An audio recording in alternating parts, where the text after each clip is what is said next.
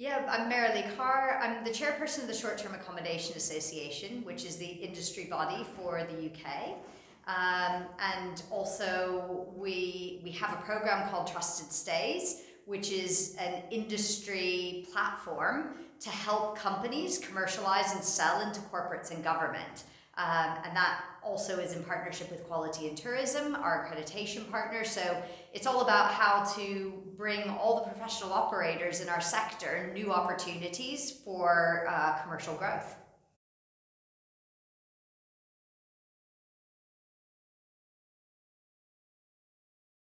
Yeah, so I mean, NHS Homes kind of came very quickly. You know, as, as we all remember, many of us having been at the short stay show uh, just before lockdown hit, um, you know, I think all of us were optimists and we thought, A, the lockdown's going to be very short, um, and B, you know, it, it's not going to hit too hard. Um, but of course, once it hit and the entire country was shut down almost overnight, not just my company UnderTheDoormat, but many companies in the sector had a lot of supply, a lot of homes that were actually sitting empty.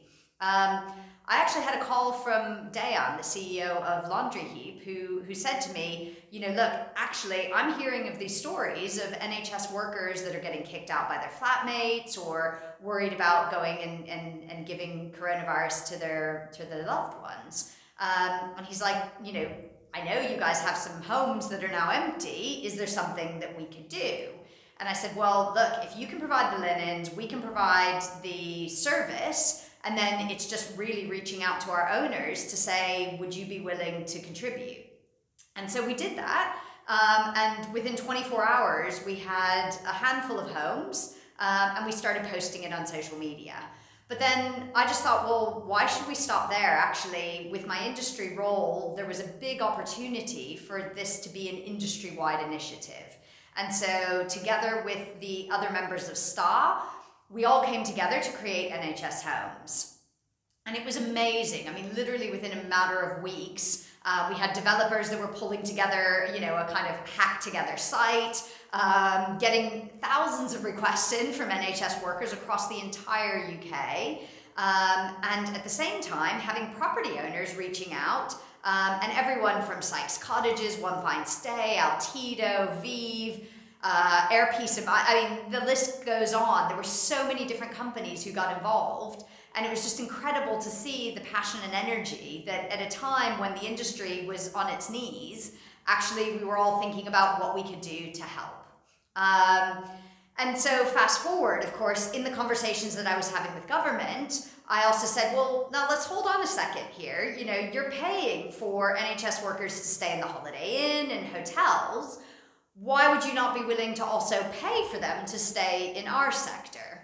Um, and they said two things. One is that they were unclear what the standards were in our sector, and they had this perception that our sector was only peer to peer. Now, of course, peer-to-peer is a big, important part of our sector, but it isn't the only part of our sector. There's a huge professional contingent within our sector that does meet accreditation standards. And of course, given the Ministry of Housing, Communities and Local Government had signed off our accreditation scheme with Quality in Tourism two years earlier, we kindly reminded them that they'd already done that and we did have clear standards. And they said, okay, well, that problem is solved. But remember, there were two things that we said. And the second was that they would only do it if we could bring everyone together under one umbrella. They just said, your sector is too disaggregated. We can't go contracting with lots of different companies. So if you can bring everyone together, then we'll consider buying from you. So of course we went away and did it. Having just done NHS Homes where people were doing it out of the goodness of their heart, it was a pretty easy sell to go back to all those companies and say, would you actually like some paid stays, guys? Um, and there were also other companies, of course, that weren't able to participate because they, you know, they, they simply couldn't do it in, in a charitable way, um, who were also interested. So by the end of summer, we actually had 100 companies across the UK that all wanted to be a part of what now became Trusted Stays. Um, fast forward, this February, we won the first ever government RFP for our sector. And just last month, as part of a large relocation program, we took our first government bookings into our sector through Trusted Stays. So really exciting. And next week, we're going to be launching the new site. Um, and along with that, we've partnered with the Short Stay Summit to actually be the provider for accommodation for everyone traveling to London to be a part of the industry conference. Um, so very exciting, and I think you know we now have plans to build into the GDS. Um, the global distribution system, which also is access into corporate bookings that our sector's never been able to access previously.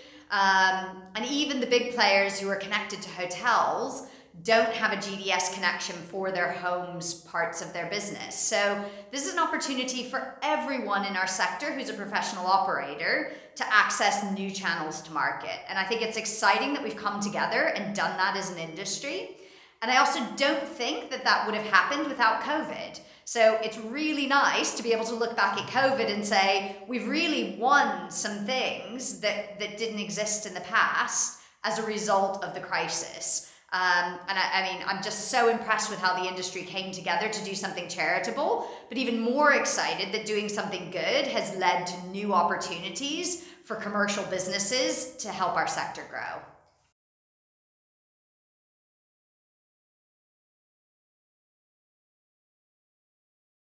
I mean, look, I think it is the first time that there's been this type of collaboration across the sector. And, you know, it was very unique also that that was happening in the UK. Um, you know, we talked to people in the European associations or in North America, and people were very much in crisis mode.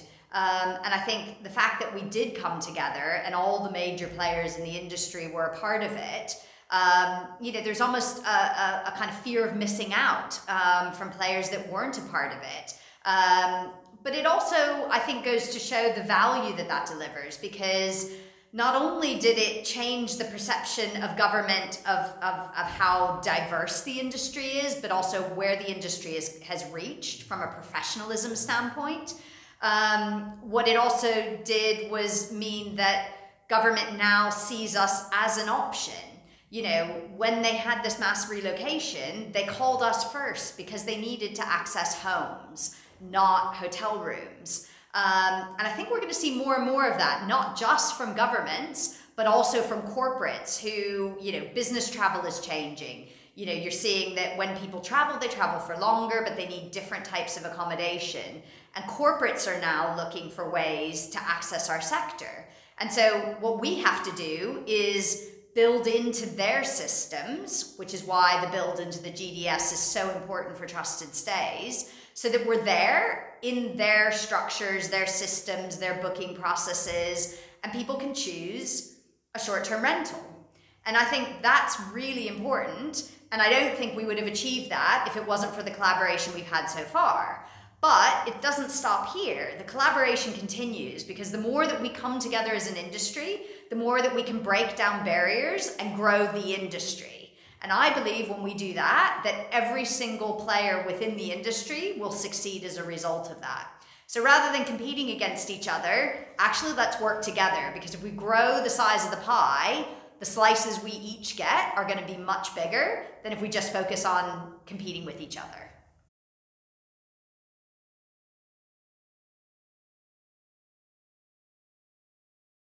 Yeah, well, look, I mean, obviously, in the past in London, we had had the, the short stay show, which was in, in collaboration with our, our commercial partners. Um, and when the last one happened and, you know, the, the, the kind of landscape changed, it was clear that wasn't going to move forward in, it, in, its, in its current form. Um, and at the same time, VRMA actually reached out and said, you know, look, we're thinking about what we're going to do for our next European conference. What are you guys thinking? Um, and we pulled in Carlos from the EHHA and we said, well, look, actually, why should we have different European conferences? Why don't we all pool our resources? It's better for the associations, but it's also better for everyone in the sector that there's a single conference in Europe that everybody must be at every year. Um, the sponsors backed it you know, getting uh, HomeAway, Vrbo, um, and getting Expedia, as well as Booking.com, Marriott Homes and Villas, Sykes Cottages, Awaze, all of these guys said, oh, this makes our life so much easier. We've got a big conference that we can really focus our attention and, and our money on. Um, and so I think that's also then great for all the smaller companies and the rest of the ecosystem. Because it means they know you can come to this one conference and you're going to be able to see everyone there all the tech providers, all the suppliers, all the platforms, um, and just get done what might take three or four conferences in one focused day or two. Um, and I think what's also really exciting about it was when we came together as the three associations, we were very clear that if we're going to do this, it's a long term decision. It's not just a COVID decision. Um, and so we're already planning, and you know, come on the, on the 14th of September because we'll be announcing next year's conference as well. Um, and of course, I can never forget to mention the fact that Marriott is going to be sponsoring the rooftop drinks. Um, and so make sure you get your ticket for the rooftop drinks uh, on the 14th of September because after 18 months of not all seeing each other, I think it's going to be a big evening and the perfect chance for us all to come back together.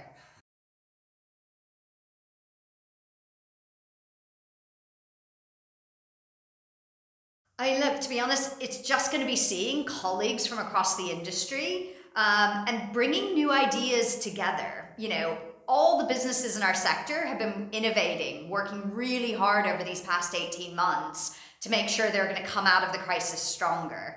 And so that's what this event is about. It's about sharing those innovations, it's about learning what's out in the market, and it's about helping all of our businesses grow over the next 12 to 18 months. And I think the possibilities are absolutely there. You know, the, the partnership with, that we do with STR on the data side, looking at how our industry is recovering quicker than some of our competitors, like the hotel industry, um, and what consumer trends are telling us, we absolutely have an opportunity to capitalize on over these next couple of years. And this conference is about how we can all come together, learn from each other, grow together, and make sure that we absolutely take advantage of that opportunity. So that when we get to 2023, 2024, we're all looking back and saying COVID was the best thing that ever happened to our sector because it was an instigator for growth. Um, and I think this conference is our first chance to actually come together in person to have those conversations and make sure that we're all having the right plans that are going to help us achieve that.